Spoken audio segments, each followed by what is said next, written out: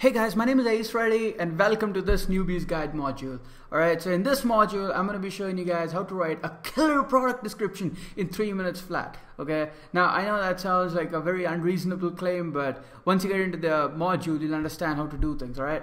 Um, so anyway, here's what you're going to be learning in this video um, of the bootcamp series. Um, Number one, you're going to be learning what uh, what is the meaning of a product description. Number two, you're going to be learning what the purpose of a product description is. And number three, you're going to be learning how to write a killer product description in three minutes, okay, for a simple product. Now, this is a three-part video series, okay. Um, there's part one for simple products like t-shirts and mugs and stuff, and there's part two for more advanced products, um, like dropshipping products and you know, products that um, have a lot of application use and you know you gotta you gotta guide people on how to do things. Um, I'm, I'll be explaining that more in a second here but um, and then there's a third video which is basically on the psychology and the tips and stuff alright so what is a product description? A product description is really just you know the text that you actually use on a page where someone goes to buy a product okay? And the purpose of a product description page is um, a good product description explains the prospect or the potential buyer that just uh, visited the website uh, on what you know the product is about and it gives them a solid reason to buy. So it's some sort of like a mini uh, a mini sales letter kind of thing okay? Um, and then also shows them exactly how to buy um, so if you guys have never written sales pages before, you don't know what a sales page is, do not worry, okay? Um, doesn't require as much skill. Pretty, um, this is this is like what, like four sentences or something. And I'm gonna show you guys exactly how to do it, so don't worry. Um, number two, um, you, uh, the purpose of a product description page is also to increase the number of conversion rates and decrease the number of cart abandonment. Okay, so what happens is a lot of people visit your product page and then they do not buy, or sometimes they add something to the cart but do not check out, um, or sometimes they just don't do anything, right? So, in order to increase the conversion rate, which is the probability of people um, actually buying your product and also decreasing cart abandonment uh, which is you know people adding something to the cart and actually buying it rather than just abandoning it. Um, a, gr- a great product description page is used for that okay? So number three uh, simpler for products that are easily recognizable and advanced for products that are not. Now um, a t-shirt right? It's easily recognizable but if you if you're like selling controllers and stuff um, not controllers, but like you know, like one of those advanced um, objects or drop shipping items. If you're selling any of those advanced products, then um, I mean, if which aren't really recognizable, then that comes under an advanced product, and T-shirts and mugs and stuff come, in, uh, come inside a simpler product. Okay.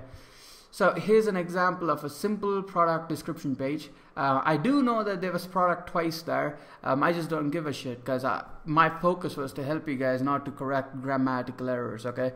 So anyway, so this is a simple product, right? So it says yoga is my therapy. It's a T-shirt. It's a simple product. You see it, you know that it's a T-shirt that you gotta wear. All right. Now this, however, from the bat, if you if I just showed you this picture and asked you what it is, um, there's a there's a big chance that most of your market wouldn't guess it. Okay, so most of you guys wouldn't know what it is. All right, and that is a, that is exactly why it's classified under the advanced product section because it requires some sort of copyright um, techniques or some sort of description um, that shows people how it's used and what it's used and more of its application use. Okay the elements of a good description page. Now, now that you know the difference between simple and advanced, in this video, I'm going to be showing you guys how to write simple product descriptions. Uh, I mean, product descriptions for simple products. And here's the elements of that. Okay.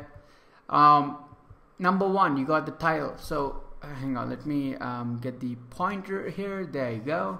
Cool and stuff. but anyway, here's the t-shirt. Okay.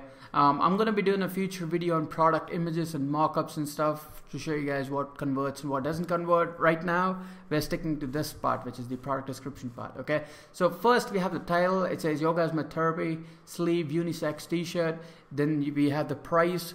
Then we have the tax included thing. Um, then we have the size, color, and quantity chooser. Um, this is standard um, you need to put this in there because you want people to select the size that they want to buy, you know, the quantity and also the color. And then there's the add to cart button. Okay. Now I'm going to be going more uh, in depth into the add to, add to cart button and giving you more techniques and strategies that you can use. Um, this is just a basic overview of uh, how things work. Over here you have shipping details, the size guide, and we have the product description here. Okay. So breaking down the components. Number one, the title. So if you guys remember the title, um, this was the title, right? So I want you guys to take a screenshot of this so you can actually remember it um, and you can actually implement this guide faster. So the title basically is just name your product there, okay? So if you want to give your yoga t-shirt a name, you can uh, put it in there. If you want to give your product a name, a special name, you can put it in there, and then let people know, uh, especially for t-shirts, whether it's unisex or you know men or women or anything like that. You know, especially for apparel. For the other products, it really depends. Like if you're selling accessories or something, then you can sort of put that in there if necessary. If it isn't necessary, you don't need to uh, put anything there. Okay, uh, that's just you know that's just unnecessary at that point, right? Um, anyway, uh, next we have the chooser. Um, I don't know what to call that, so I call it the chooser. This is where they select the uh, size, color, and quantity. Um, there's not much you can change there, honestly, but a quick tip I'll give you guys is I've seen a chooser uh, yesterday on a website while I was trying to research stuff. Um, and what happened was basically they had a white button, okay, and they, the entire background was white and they had like bluish text with with bolded uh, boundary corners or whatever. It, it is terrible, guys. Let's not change the standard here. Okay, certain things you can change uh, to get better conversions. Certain things, uh, what's working, you can let it work. Okay, no need to reinvent the wheel. Um, use a use a grayish color background. Uh, if you guys want, I'll drop the code of this in the uh, uh, in the YouTube description and then use a black colored text on it okay that's that's all you need really um, and then the call to action right so here's the thing guys. This is something called as the isolation effect okay? Now I told you guys I'm gonna be getting back to the um, add to cart button and actually be showing you stuff. Anyway now look.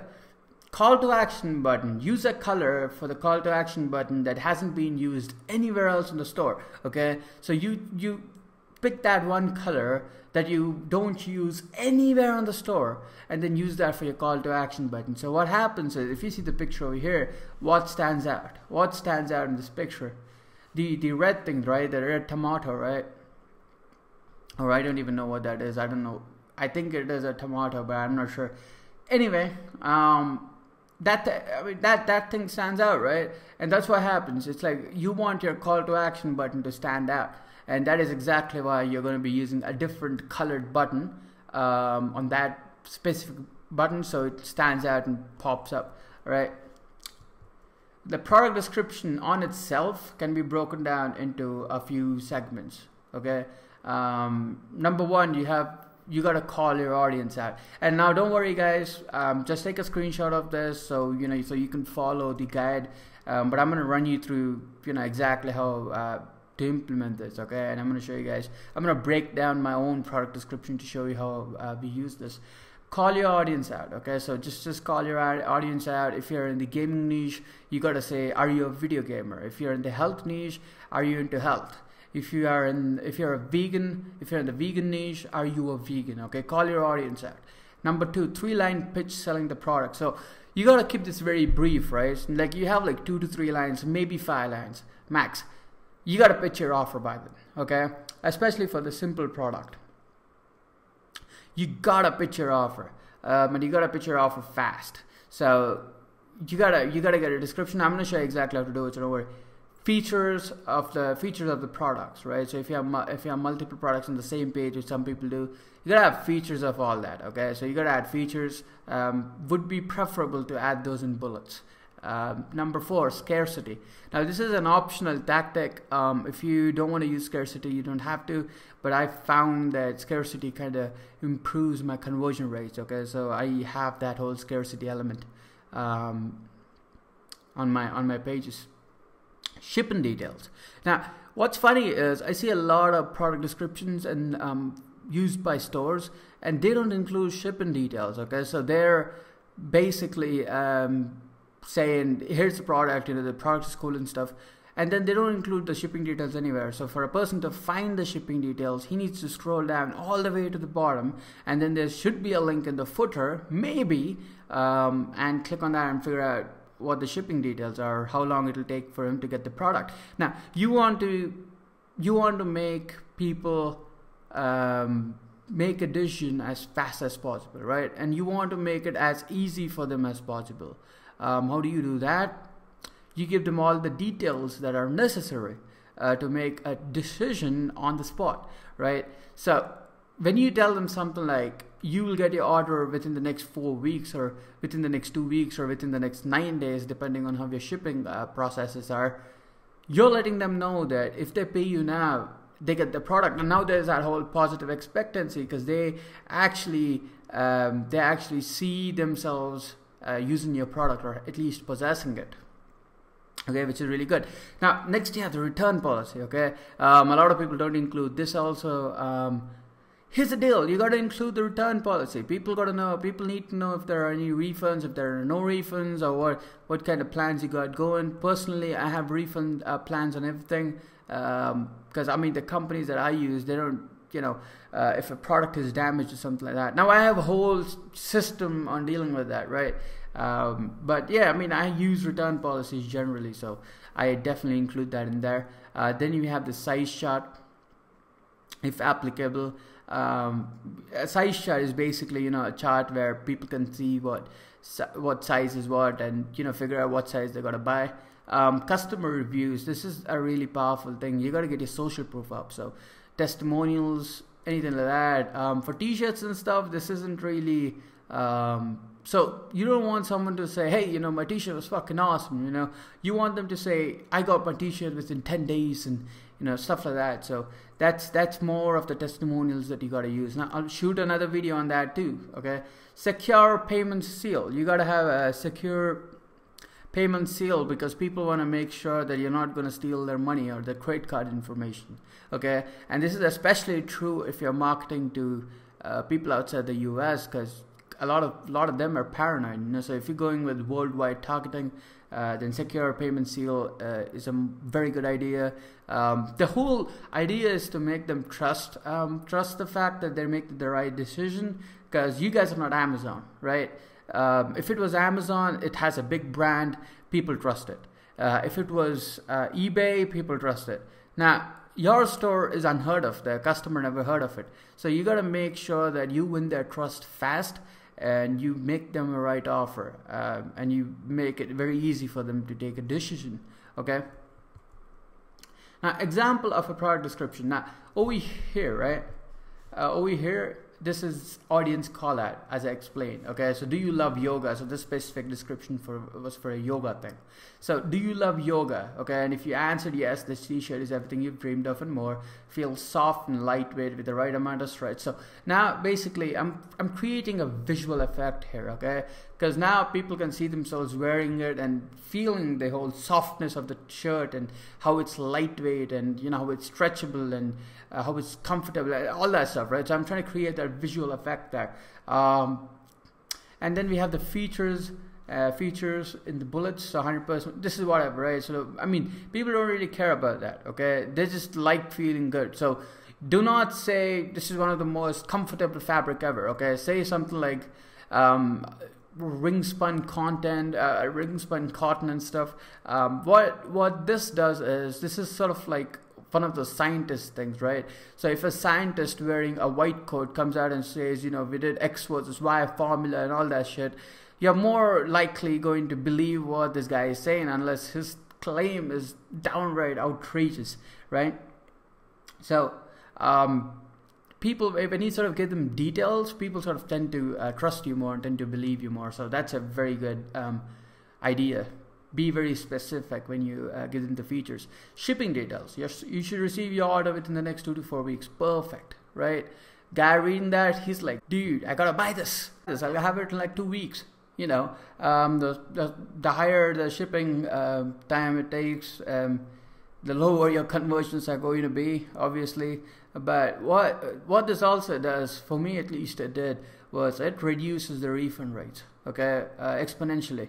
So what happens is a lot of people don't include this, and then especially drop shippers do this because they don't want their customer to know how long it'll take uh, to get their product because you know because sometimes these guys have e-packets sometimes no. Uh, sometimes it takes a long time to deliver a product. So they don't want their customers to know right? They're not very transparent. And what happens is in most cases the customer waits for like 10 days maybe 15 days and then he starts claiming chargebacks and asking for refunds and stuff. Very messy okay? Um, be very transparent you know let them know how long it'll take to get their order and put that in the shipping details page all right? Or in some cases what we've also tried is say something like get your order within the next nine days or we'll send you $20 okay? And that's worked out really well for us uh, for us as well. Uh, now that obviously depends on you know, the kind of products you're promoting. Obviously if you're doing print on demand you can do that. If you're doing something related to drop shipping then that's very unpredictable. So i would not recommend that you actually use some use a guarantee like that. But it converts you know it, it converts pretty well. Um, then we have the customer reviews and the size guide no? Um, so guys look that is the end of the uh, part one of these uh, of this video series. Uh, if you guys want to catch more of my videos and the other two parts uh, you can like this video you can drop a cool and funny comment okay? Be sarcastic as shit. Let me know uh, what you think of this video or would you would you want to watch more videos from me or cat videos? I mean I will fuck honestly I think I would prefer cat videos too. But anyway guys look cat videos don't make you money. My videos make you money. So anyway um, drop a cool and funny comment okay? Be cool. No don't um, drop like stupid stupid comments on my, actually matter of fact go ahead you know go right ahead drop some stupid comments. I'd love to respond back to you. Anyway subscribe to my channel okay if you want to see more cool stuff. And let's make some money. And if you have any questions whatsoever you can email me at ace at eliteaffiliategroup.com and i will check it and i will reply back to you when i see it okay? With that said guys um, i'll see you uh, i'll see you in the next module all right? Peace